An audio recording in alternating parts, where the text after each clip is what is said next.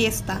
Así fue el concierto del puertorriqueño Gilberto Santa Rosa la noche del viernes durante la inauguración del Centro de Convenciones Olof Palme en Managua. La Academia Pasión Latina y la nueva compañía fueron la antesala del esperado concierto, que arrancó después de las 11 de la noche. El cantante y sus 25 músicos se tomaron el escenario diseñado bajo luces tenues para cantar sus mayores éxitos. Temas nuevos y los clásicos como Cuenta Regresiva, Que alguien me diga, Sombra Loca, Un montón de estrellas, Mentira, No pensé enamorarme otra vez entre otros éxitos musicales, lo llevaron a permanecer en el escenario por casi dos horas. Durante toda su presentación, el artista mantuvo al público bailando.